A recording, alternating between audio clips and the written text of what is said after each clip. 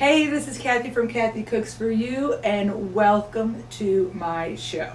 I have a treat for you today. This is not a normal cooking video. I do cook in this video a couple times, but this is our Iceland extravaganza video, right, hon? 2019. Yes. We celebrated our 25th anniversary in Iceland, and we are here to show you how to camp Iceland, how to do it great, especially we wanted to show you how to get outside of all of the tourists that now are in Iceland. We went way out to the West Fjords because we found out that it is the least populated place in Iceland. It's like 7 or 8% of the entire population of the country lives out there. Yeah, it's not much. It's like 7,000 people. Right. The West Fjords is untapped territory. And living near Disney and in Florida with all the tourists, We got a lot of them. We had to get out of there, right? That's right. We had to get, we, we can't be by tourists. You know, it, it- we just have to be alone. So we're here to show you how to camp Iceland in the West Fjords. And let me tell you, it was we, had, amazing. we had a great time. We stayed in a VW Caddy. Yeah. We wanted a VW though because um, on our one year anniversary, we moved out to California in my grandfather's VW bus. And so this was a recreation Yeah.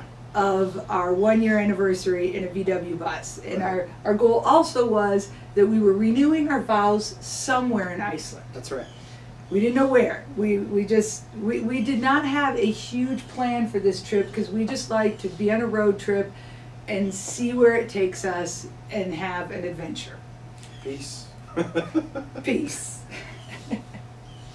so after our, our first stop, uh, the first days, I was very sleep deprived, and we are driving ar- around the road, and um, and we see this crack in like this this fissure, this crack in this mountain. Yes, fissure is a good word. Yeah, fissure. It, it was very. Uh, uh, It was ominous. Well, it was uh, Game of Thrones-ish. Yeah. That's where the Game of Thrones is shot. Yeah, just par- yeah. portions of it. So we went there and we just kind of hiked up to this uh, little river coming out this crack in this rock.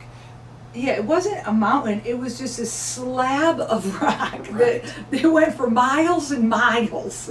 As we're walking the path up, there's a stream coming down, a small stream, and you know we thought, great, we're going to be able to get into that crack, you know, and and we did. Except the hiking in the crack, you had to hike and just bounce from river rock to river rock. That was your hike. You're like And- Spider-Man scaling yeah, the rocks. in yeah, you were holding onto the wall, Right. scaling. So unfortunately, I had my camera down my pants because I was afraid I was Drop gonna, it in water. Yeah, drop it in water, and um, it was unplanned. It was unmarked. so different from the U.S. because.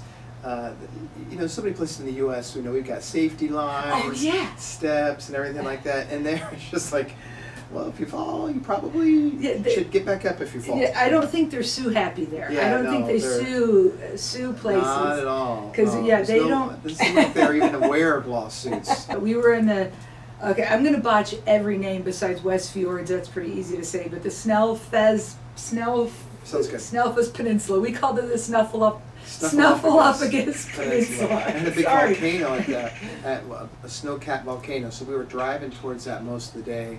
You know, right when we got on this peninsula, you know, we rounded a corner and, and we saw this beautiful big volcano. And um, with a glacier on it, and it was just absolutely incredible. And by the time we got to the other side of it, we saw where it had blown, blown up, and you, that side of the volcano Erupted. erupted. Sorry, the side of the volcano it erupted from the other side, Right. and um, you could just see the lava flow. West Fjords, day two. Just got off the ferry.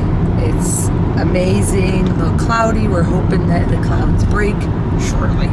We didn't have to have a plan in the West Fjords to see like a hundred things a day. You know, we knew we wanted to go to the bird, the rock cliffs that day. Other than that, everything was just, you know, amazing eye candy that we had no idea we were going to see, and it, just the scenery everywhere you look is absolutely amazing, Right. everywhere. And we started that day with really low cloud cloud cover. So Trey went from the day before being not a cloud in the sky. Beautiful sunny Southern California day. Yeah, yes. To you, the visibility was very minimal. 150 feet cloud level all day long. Yeah, yeah, it was crazy. Solid. Oh, thank goodness there's a ledge. Holy crap. Wow. Ay, ay, ay. Huh? Oh. Oh, thank you for giving me a ledge. The false sense of security, I know. Oh, shit, man. Oh.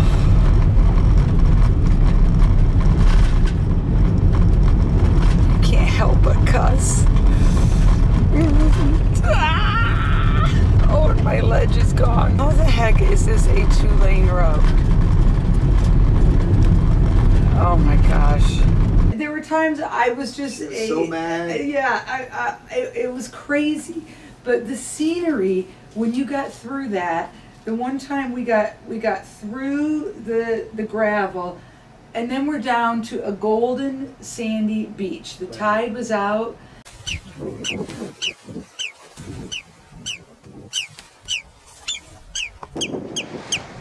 Look at this view.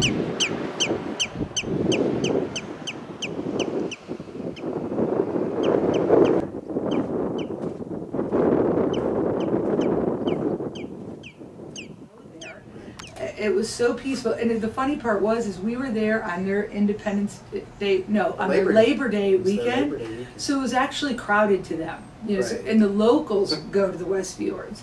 So we were like some of the only Americans there. In fact, they said that there was we were the only Americans they had seen camping there. Yeah, they said Americans don't usually camp here, so uh, Well, they hadn't met take that challenge. That's right. Take that challenge. So speaking of safety, um, you know, there's always the person that's got to get the best picture ever, and you see them. Now this was not us, but you see them like past the line. There was actually a safety line Yeah, in this, this one had place. because they were protecting the birds. The birds. They They weren't protecting us. I mean, the safety line was maybe a foot off the ground, but and it said don't go through that. But it did say unstable cliffs. And you see people stretched way out there to try to take a picture. And we even took a picture uh, of the birds, trying to take a picture of the birds. And we even took a picture of some of the people because I told Kathy, this guy's going to die. We at least need to document that he was here because the you know right. I the mean, four police in, in Iceland would probably come up to us and we'd have to show them a few pictures. Yeah. Well, and the, the cliffs are very unstable, not just because they're rocky, but because puffins have a burrow in the ground. They actually have two, one for garbage and one to live in, believe it or not. You know, they they burrow in the ground, so the ground is unstable. But, you know, the Icelanders care about the birds. They don't want our weight to be hurting those burrows.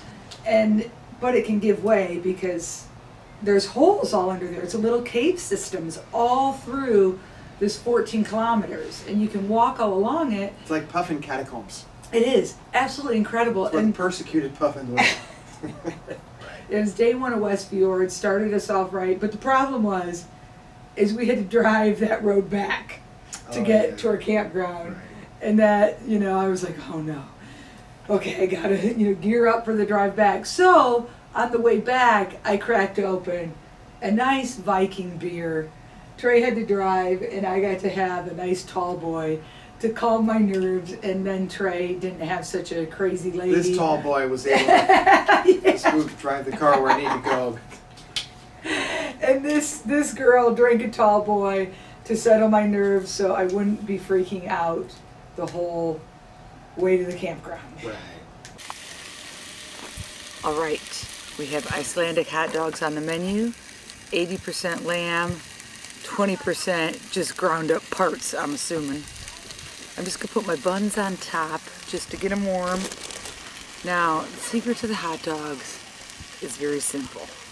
Raw onion, French fried kind of fried onion, ketchup, an Icelandic remoulade, and then a special sweet mustard.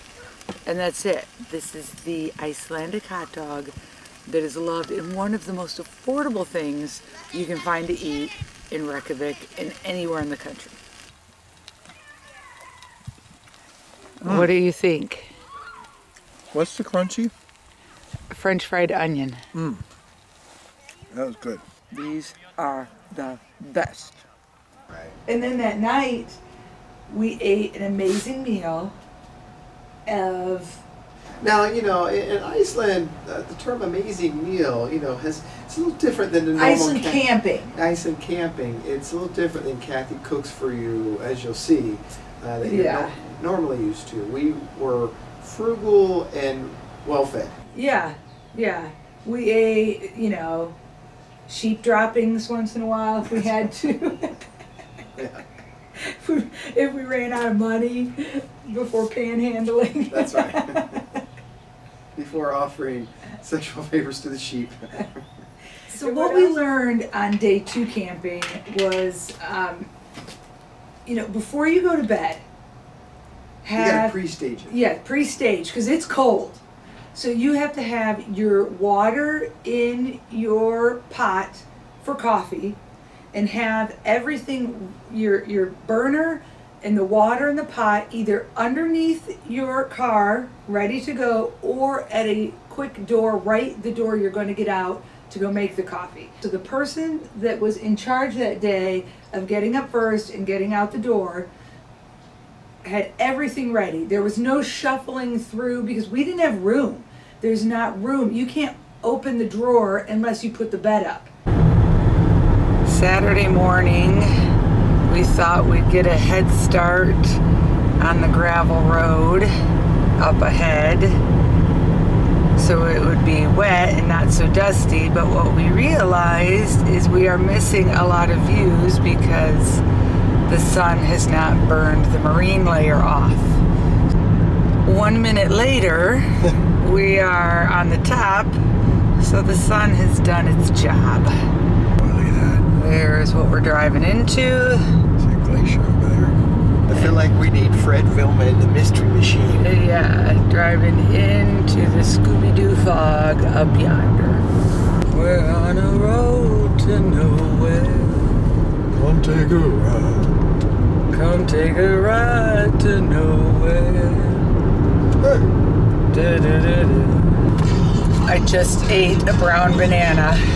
Converting her one bite at a time. It was uh, pretty bad, but I had to take a pill.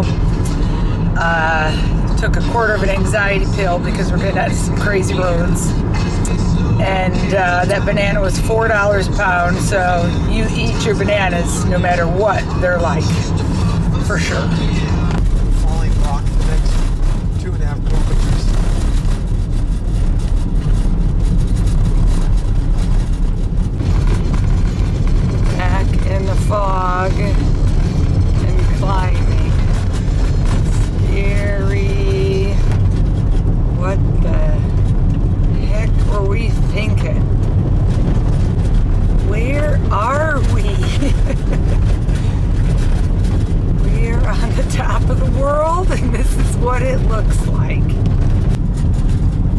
Civilization, another person. We are not alone on the earth and the sun. Here comes the sun. Da, da, da.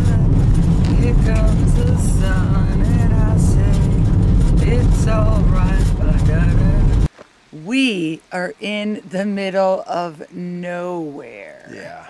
Look at that view. We just came out of all those clouds Top of a fjord. Top of a fjord. It's gorgeous. The sun is shining.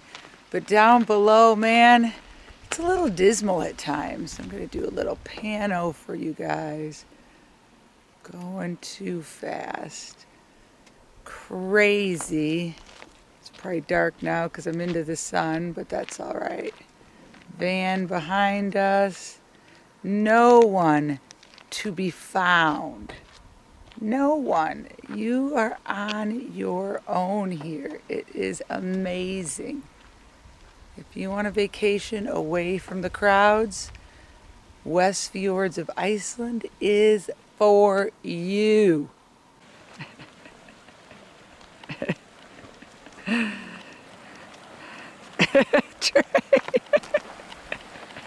Your belly's hanging out, boy.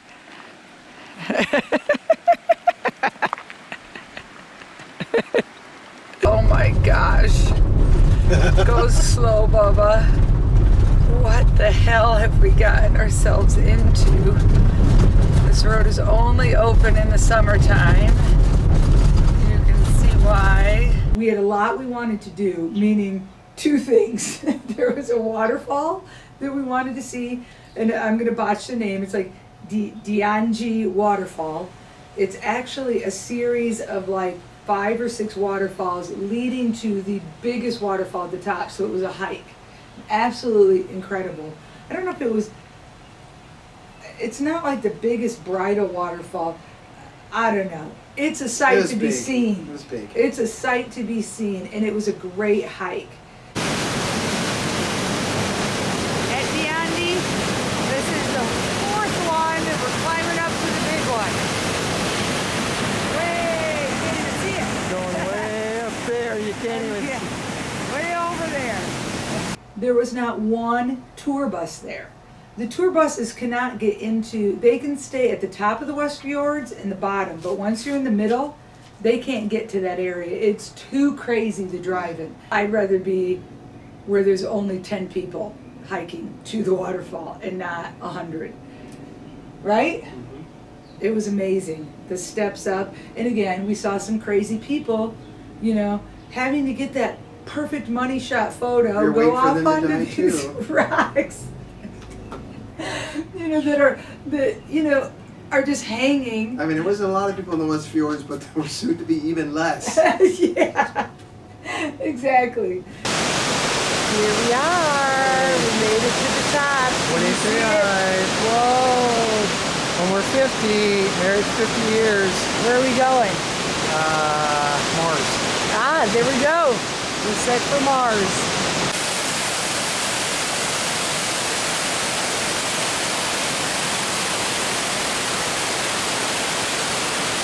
Trey read this article that um, this man lived on this farm. His father was a pastor. They lived on this farm, and um, he had moved to Denmark.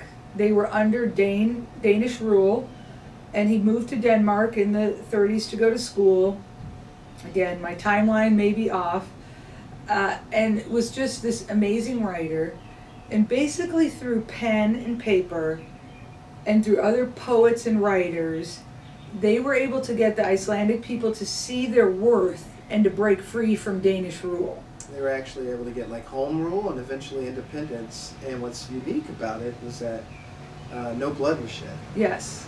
In 1944, they broke free from the Danes. And the Icelanders are super proud that they did not have to shed blood, that they were able to use intellect and, and, and the written word um, to inspire their people to say enough is enough. Right. And so Trey thought, gosh, wouldn't that be a great place to ha- renew our vows? Such such a peaceful place where this man grew up, and you know, he said there's a, a little church on the property, and you know, a farm. So th- this piece of property had some major significance, and that we thought that would be a great place for us to renew our vows. But you know, now it had- has even more major yeah, significance. now now they have us there, which That's right. is Who cares about Sigurdsson? right. So right after we renewed our vows, they had a, they had like this. It wasn't even a cafe. It was a. I think it was their farmhouse. old It farmhouse. was the yeah. farmhouse, and we were just kind of walking through, looking at it, and we got the very last room, and it was they had kind of made several rooms one, and they had some coffee and cake sitting out. Um, so they had just brewed some coffee, and uh, the cake was uh, called Happy Marriage Cake. Yeah. So we thought, How well, perfect is that? Happy you marriage cake. That got us to Isafjordur, where we spent a couple hours just Walking walking, around. around, going into shops. Yeah, that's a cruise ship stop. So there we there we saw um, more tourists because it was a cruise ship port and um, cute little town. Uh, and then we made our way up to Belungervik, I It's think. like maybe 20 miles to the north. to the north. Would you like to explain what you did? What did how, I do? How you hurt Kathy cooks for you? What did I do? Tell them. Well, helping you clean the dishes last night since Uh-huh. you jumped in the You didn't clean the dishes. you put dirty dishes underneath the our car, van and then we left them. this morning. So I have no, knife. It was our donation to Iceland. I have no knife, no cutting board, and we're down. Uh, we don't have No a frying pan. No frying pan. It's a sad, That's sad day. So we're camping now, having a beer, and I've got to cook, and I have no supplies to cook with, and I'll figure it out. Good thing we have frozen vegetables tonight, because we can't afford fresh vegetables here. Frozen vegetables it is. Signing out. Is it edible? It is edible. Hey, when you're camping, you're camping, and edible's okay. It's not terrible. When you're not having meat products. Right. because you can't afford them. They're like way too expensive. The more of these little guys I have, the better it tastes. There you go. Skull, which means cheers. Thank you for watching Kathy Cooks for You. And we'll see you tomorrow when we're uh, in the West Fjords again. We've decided we think we want to go over there. It's going to take quite a bit longer, but there's this massive glacier. Like, I'm going to botch the name, but it's like Dragonskjol, something like that. So I think we're going to head that way.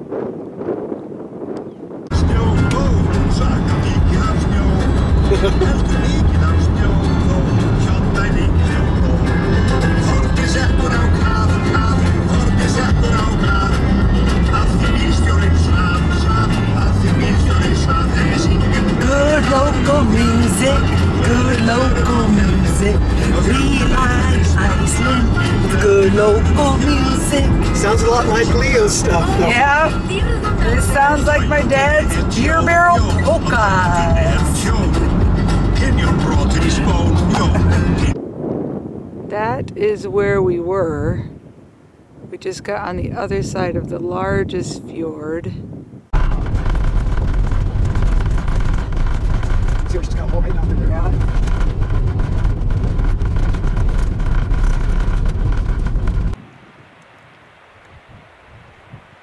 We are like the only people alive out here. It's amazing. Only people on the planet, is what it feels like. Absolutely amazing. So after this like two hour drive, we round this corner and pull up to this glacier that, again, technically probably should be roped off this area, you know, because there's no sign saying do not hike on a glacier by yourself. Now we were, we would we knew know better not to hike on a glacier, but we hiked close to it and uh, got as close as we felt comfortable. We think we probably were about two half two and a half miles away from the base of it. But Yeah, it, it, it was incredible. Went to get something for dinner tonight. It's early, but was trying to think, oh, maybe with our lamb hot dogs and two cans of free beans I got, two cans of free beans I took from the Happy Camper pantry, we could maybe have some salad with it. But greens are super expensive here. I wasn't gonna spend seven dollars for like four or five ounces of salad. So what we can afford are radishes. 133 krona, which is about one dollar. So, and they're super good for you. So that's what we're affording and eating tonight. Found this, these two volcanoes that erupted. We're just gonna go take a walk off the side of the road. There's the two mountains or volcanoes just right off the highway. We didn't even plan this. Okay, we are on top of the volcano. that's right. And this was not in a tour book that we saw, it's just on the side of the road. Just drove by. Yeah, you don't have to plan, plan, plan. Sometimes things come to you That's right. For free.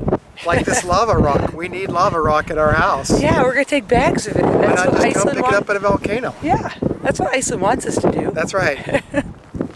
oh, I don't know. I don't know. I don't know where I'm gonna go when the volcano blows. All right. We're camping and we're cooking. Remember, we have no knife, no cutting board, and no skillet. I have no idea how any of that happened. Okay.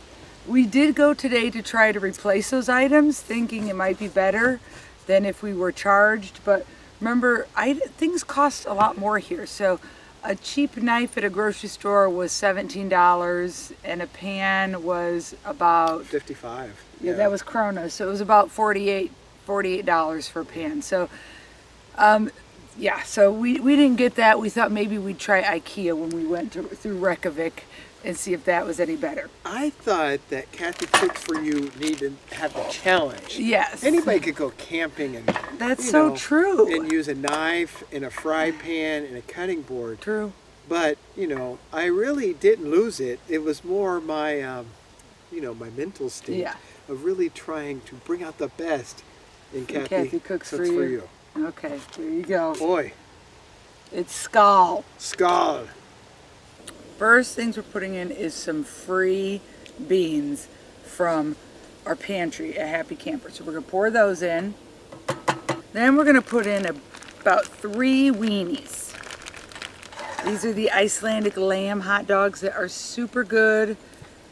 You know, all their lamb, their sheep, just roam free. They're all over the roads. Um, they're they're by the ocean. I mean, it's Yeah, we saw them laying on beaches. yeah, yeah, it's just crazy, and they're just all over the place, and they're kind of a nuisance when driving.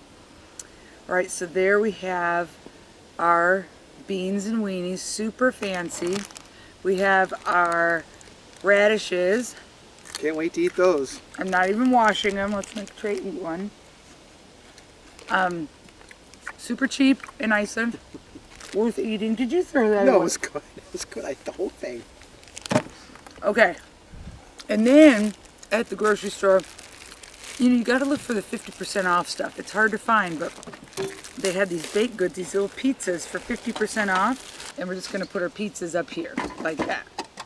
And that'll kind of heat our pizza while all those lammy flavors in our hot dogs blend together. Food is really expensive here to go out to eat. You have to prepare your own if you want to go to Iceland on a budget. Oh, and our beer, Eight krona. eight krona, which means It's about what seven, uh, Six six fifty. fifty a piece. per tall boy, That's right. 660, something like that. That's. Viking. Yeah, So after we finish this, we're not gonna strip down naked and run around here. and kill them, rape and pillage. That's right. But that probably won't be on camera. yeah. what not to do in Iceland? Um, what was day one? What did we do? We were like, oh, the Diet Coke. We were going to buy Diet Coke, and I didn't ask how much it was. It didn't have a price tag on it, and it ended up being thirteen dollars for a six pack of the skinny Diet Cokes. Um, so, always look at your prices. Oh, there was a couple times we ran into not really following up with questions. Yeah. Oh! when you're like sitting waiting to get on a ferry in Iceland and the big Icelandic woman comes up to you and says, go ahead and get on the ferry. What that means is the people that are driving the vehicle get on the ferry. It doesn't mean everybody get on the ferry. Yeah. We almost left our car one place. I went down the ferry, walking around and walked down to where all the cars are, and I'm like, where's our car? And our car is just sitting out there all by itself, Unlocked, running. running with the keys on, you know. But hey, I saved the day. And you know, and again, we should have questioned it because when we were walking past all the other cars, they still had a driver in it. But yet we decided, we thought she told us to leave the car. Okay, what else? Um, groceries. You know, food is very expensive, so you have to learn to eat certain things. Peanuts. For some reason, you can get a bag of peanuts in a blue bag for 198 krona, which is less than two dollars. And you know, it's filling and sustaining. So peanuts are something you want to eat. You also want to eat. Um, Iceland is like one of the most expensive countries to go travel to, Mm-hmm. but you can do it on a budget. yeah, Um, we're having beans and weenies. Right. I'm sure our, our And fans going to smell day-old- interesting tonight. day old pizza. That's right. Day old. all right. ooh. Day old pizza from the bakery. It's only our intestines that we have to deal with tonight. Right. Bonus and Netto are your cheapest grocery stores. Frozen vegetables is the way to go. So I'd highly recommend uh, Happy Campers. Uh, when, you know, if you decide you want to camp across. Mm-hmm. We're not Iceland. getting any money to recommend no, them. not yet. Oh, this looks so fancy. It doesn't taste so sweet and fake, the beans, is when you get pork and beans at our place. Because these were just It beans and taste a like- tomato sauce. This is just like crappy American pork. and beans. No, it doesn't. That's good too. Half price. So stay tuned. We have left the West Fjords. We're now in central West Iceland. Tomorrow we go to South Iceland for a hot river hike. That means we hike two and a half miles in, change into our bathing suits, soak in hot river, and then walk two and a half miles out and then head to our campground. Can't wait. Well, I have a video uh, that shows more detail of Right. that hike. Um, but it, it's absolutely incredible to, to get to hike. You know, you can't be modest. You know, you, you don't want to hike with your bathing suit on because then you have to. Yeah, that's just not comfortable. So you know, you there's there's these T cross changing areas, and you know what? You're in a European country. You know, you just change, and it's part of the experience. Changing out in the open, and if hikers are hiking by, it's like so what? They got a butt shot. You- You'll you'll never they'll never see you again.